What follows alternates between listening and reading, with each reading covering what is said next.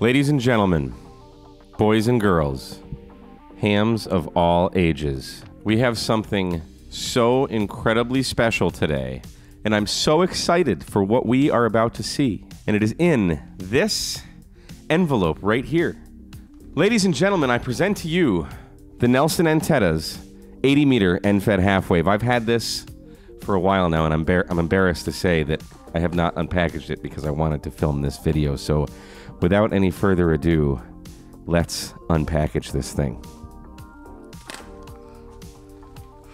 Oh, look, look at that! It's see, it's like the '90s with the pagers. You got the see-through uh, cases. Oh, that is too cool. That is too cool. So there you can see the Toroid. That is cool. All right, we've got our little uh, loading coil on there, so that's good. Nice dog bone insulator at the end. Good quality wire. What is this? This is 18 gauge marine SAE, blah, blah, blah. So fantastic. I'm using, I think I'm using 18 gauge uh, wire for what's on my house right now.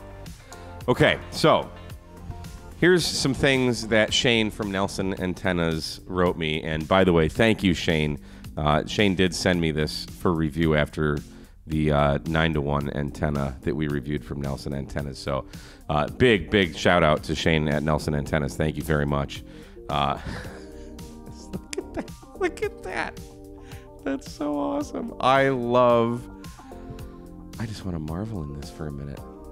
I love how he makes his antennas. These are just spectacular. Absolutely wonderful. Okay.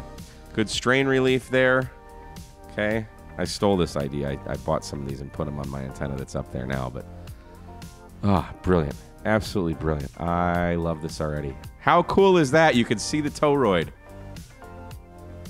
That is much better wound than any toroid I will ever wind. And then there's the SO239. So he sent along a letter, so let's read this and uh, we can read it together. So uh, he says, Hello, Mike.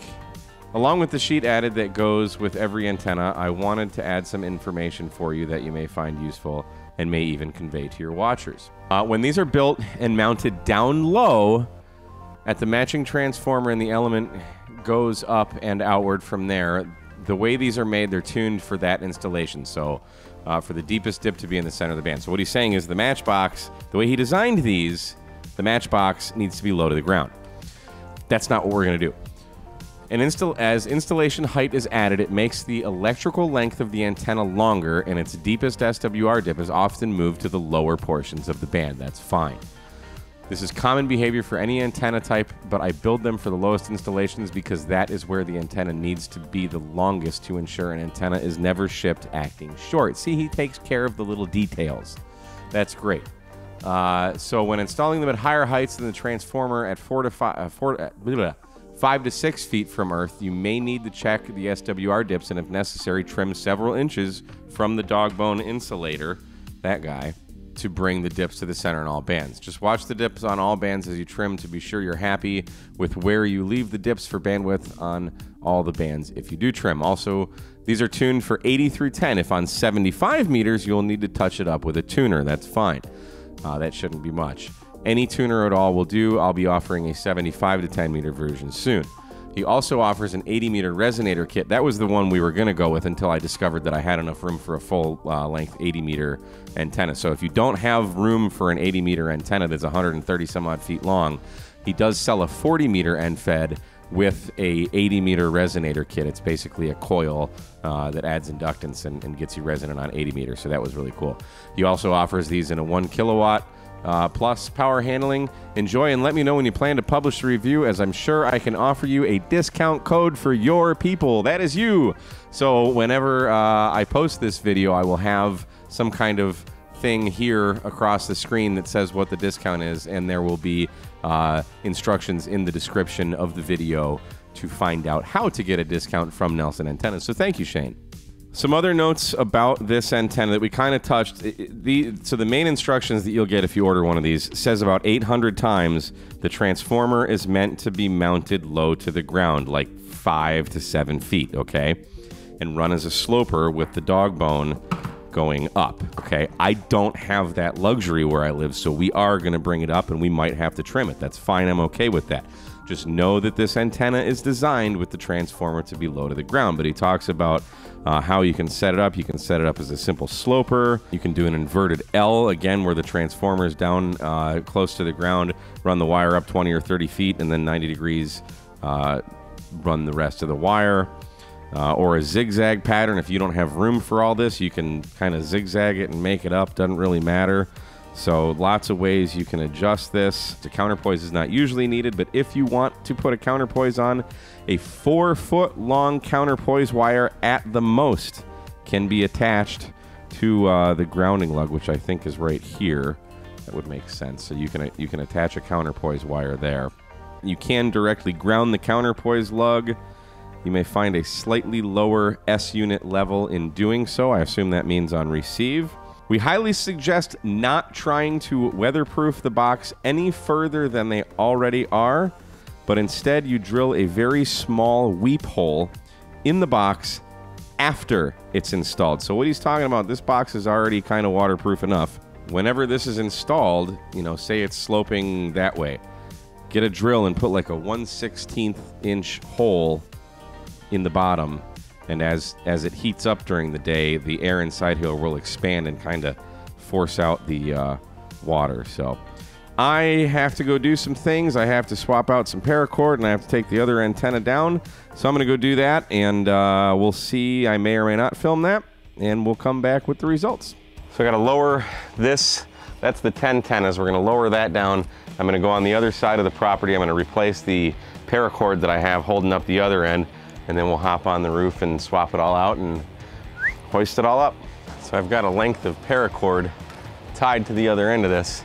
So I've got to bring the old stuff back and then untie it, and then we'll tie the new antenna to the new paracord, and there it comes.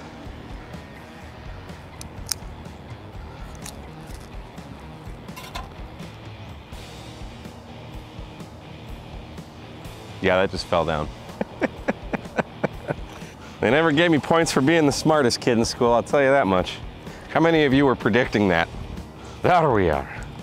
Let's uh, secure this a little bit. Take down our 10 antennas. Wrap up the old wire. Put some zip ties on her. She's all bundled up. Now I gotta unwind all of this wire. All right, we'll spool it out that way. We did it. We did it. I'm gonna put my paracord in our insulator here. Try and fail at tying a bowline on camera.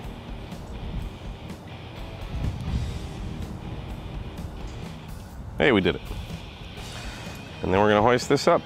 Very nice construction. You got a little heat shrink on the end there. Nice detail. Unfortunately, I will most likely be cutting that off, but that's okay. Tie this guy on here. All right. I'm gonna put a little dielectric grease on the PL259. You can get a lifetime supply of this at uh, AutoZone for just a few bucks. Little dabble do ya.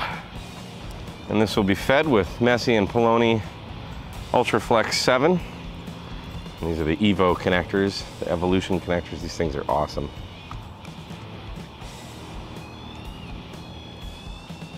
All right, that's nice and snug. And we'll get the Handyman Secret Weapon's cousin. Those of you in the north know what the Handyman Secret Weapon is. Down here in the south, we use its cousin, electrical tape. This is Temflex 1300. Interesting side note, this bit of electrical tape was sent to me by Lord Callum himself from DX Commander. Thanks, Callum. All the way from the UK to the US and there.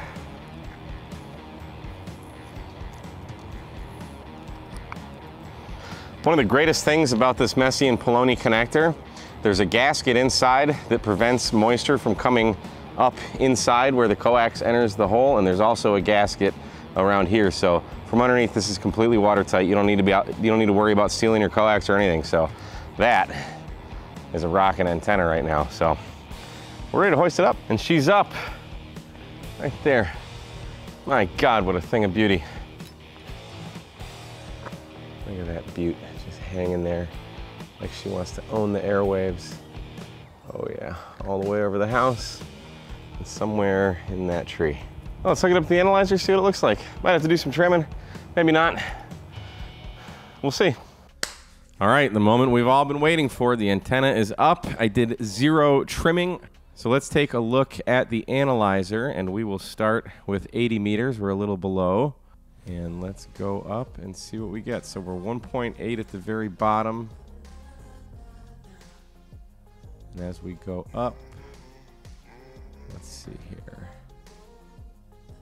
1.3 around 3.6. 75 ohms.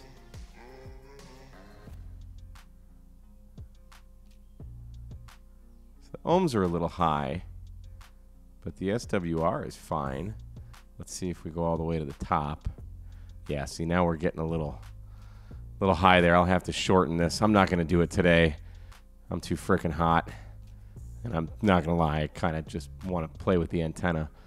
But that's fine. So I need to shorten a little bit, which we knew. That was in the instructions. He told us everything. So that's fine. So let's take a look at uh, 40 meters now. Ooh, that looks good. Bottom of the band, we're 1.6-ish, 1.7. Let's go up a bit. 1.3. Shoot. 1.1. Doesn't really get much better than that. So that's good. Let's check 20 meters now. 2.0 there. So it definitely needs to be shortened. There's no question about that. But that's fine. That's fine. We knew that coming into it. Let's check uh, 17 meters. I just want to see what this is right out the box with a, you know, the I put it up the way he said not to because I don't have a choice, and it's still performing well. That's kind of, kind of the whole point of this. The quality of these Nelson antennas is just. Shane, you do a tremendous job, buddy. These antennas are fantastic. So we're we're well uh, within reasonable limits here on 17 meters. Let's try 15 just for giggles. We'll go through them all. So 1.2 at the bottom end and all the way up. Yeah, 15 is 15's banging. Let's try 12. Where are we? 24, 8, something. So yeah, whatever. 1.4, 1.5, and 12. Not a very big band. Okay, great. And how about 10? There's the bottom of 10, 1.6. As we get up to the phone portion, Still 1.6, 1.7. So reasonable, reasonable. Not not uh, perfect, but we can. Uh, that'll all be that'll all be fixed when I cut it. So, yeah, it just gets better as we go higher. So. But once we once we trim that kind of and kind of everything will just come into line. That's that's how these end feds work. So let's check six. Uh, I don't think this is rated for six meters, but let's let's do it anyway, just because. Uh, where are we? 50. Yeah, we're we're nowhere close, but yeah, that might come into line when we cut it. I don't know. These antennas are really more 80 through 10.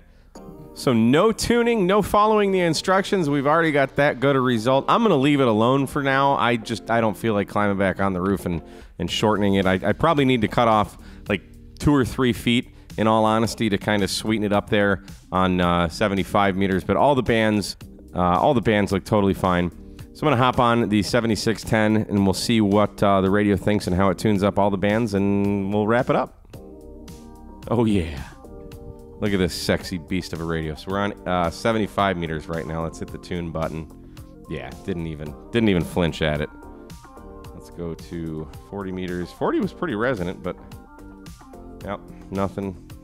Uh, I didn't check 30 meters, but we're tuning that, no problem. 14, or 20 meters rather. 17 meters, no problem. 15 meters, no problem. 12 meters, no problem. 10 meters.